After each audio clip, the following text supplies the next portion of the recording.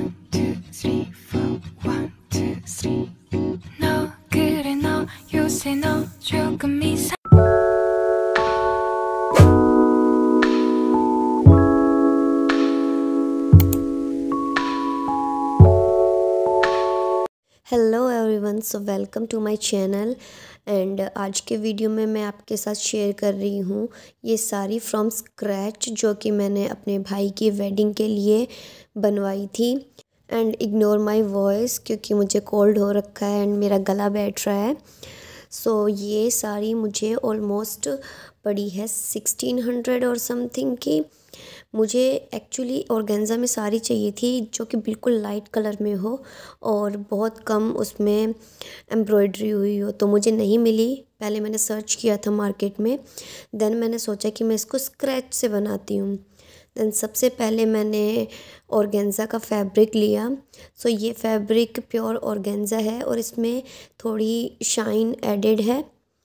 As you can see light में ये और भी ज़्यादा ब्लिंक करती है एंड बहुत ही पेस्टल कलर है, जो कि बहुत प्यारा लगता है, काफ़ी गर्लिश लुक देता है और इसके अंदर बिल्कुल छोटी छोटी बूटी है, जो कि दिखने भी नहीं वाली है बट दिखने में बहुत प्यारी है ये साड़ी।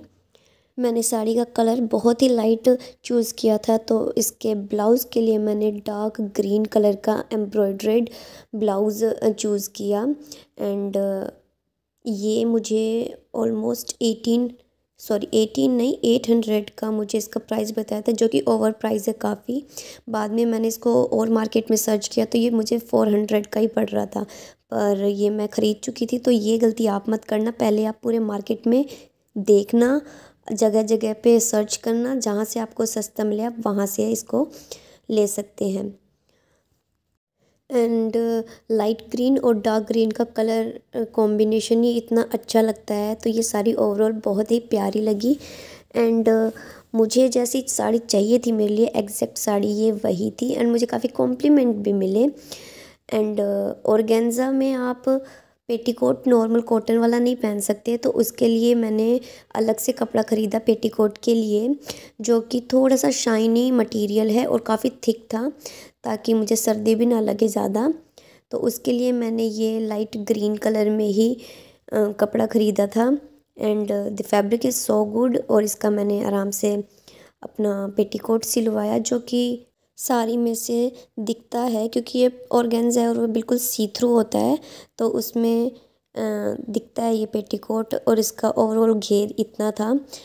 ये मेरी जो आंटी थी जिन्होंने मेरा ब्लाउज स्टिच किया था, उन्होंने ही स्टिच किया था तो इसके बारे में मुझे ज़्यादा डिटेल नहीं पता है कितना इसका घेर होता है, कितना नहीं होता है, बट मुझे इसका कपड़ा बहुत ही प्यारा लगा। इसमें अगर आप पैंट भी बनवाना चाहो ना, किसी कुर्ते के नीचे तो वो भी बहुत ही प्यारा लगेगा। एंड इसके ऊपर अब मैं साड़ी थ्रो करके दिखाती हूँ कि ये ओवरऑल लुक कैसा आ रहा है। कैमरे में ये थोड़ा सा लाइट ज़्यादा आ रहा है बट इन रियल लाइफ ये थोड़ा कम लाइट था, थोड़ा ग्रीनिश दिख रहा था ये। और ओवरऑल पूरी साड़ी के ऊपर मैंने ये वाली लेस लगवाई, जो कि थोड़ा सा गोल्डन टच दे रही थी। फर्स्टली मैं इस पर सिल्वर पे जा रही थी बट मुझे ऐसी कोई लेस मिली नहीं और मेरे पास टाइम भी थोड़ा कम था। सो काफ़ी सर्च करने के बाद ये वाली लेस जो कि मेरी आंटी ने ला के दी है, उन्होंने ही ये लगाई थी। ओवरऑल काफ़ी अच्छा लुक आ रहा था और लेस लगाने के बाद रियल लुक निकल के आ रहा था इसके ऊपर। सच बताऊँ तो मुझे कलर ही इतना कमाल लग रहा था ना कि मैं बार बार बस इसी को ही देखे जा रही थी कि इसमें कितनी प्यारी शाइन आ रही है, कितना प्यारा सा पेस्टल सा कलर है। काफ़ी गर्लिश कलर था जो कि पक्का था कि मुझे पसंद ही आना है क्योंकि मुझे ऐसा ही लुक चाहिए था। एंड ब्लाउज़ ये थोड़ा और डार्क है इन रियलिटी। इसकी एम्ब्रॉयड्री सब कुछ मुझे बहुत पसंद आया और ब्लाउज़ का डिज़ाइन आप स्क्रीनशॉट ले लेना मैं अभी दिखाऊँगी।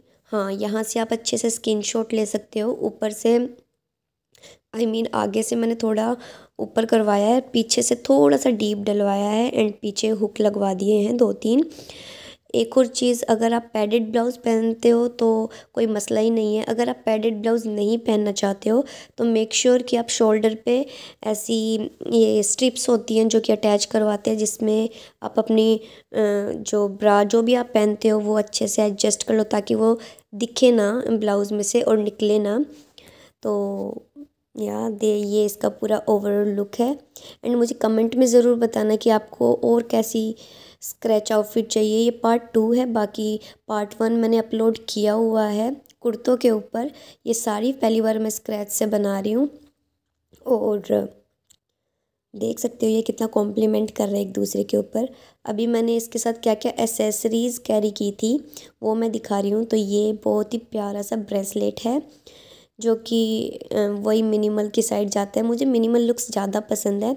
एंड इसके साथ मैंने ये ग्रीन टच में रिंग पहनी थी, जो कि मीशो से थी एंड ये स्टड्स पहने थे एंड इसका एक प्यारा सा छोटा सा नेक पीस और पहना था, जो कि देख सकते हो आप।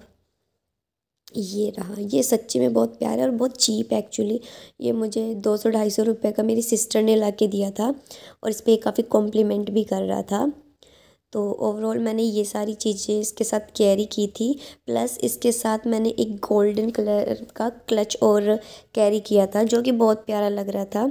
आप चाहो तो आप इसको और तरीके से भी स्टाइल कर सकते हो, पर मुझे एकदम थोड़ा यू नो वो हीरोइनी वाली फील नहीं आती है। वो चाहिए था कि एकदम दूर से ही टक करके नज़र पड़े। सो मैंने ये क्लच कैरी किया जो कि फ़्लिपकार्ट से है और ये भी काफ़ी रीज़नेबल था बस। ओवरऑल मैंने यही चीज़ इनके साथ कैरी की थी एंड सिंपली हिल्स पहनी थी। And that's it for this look इतना ही सब मैंने कैरी किया था और मैं अपने और भी लुक आपके साथ शेयर करूँगी। तब तक के लिए take care bye bye bye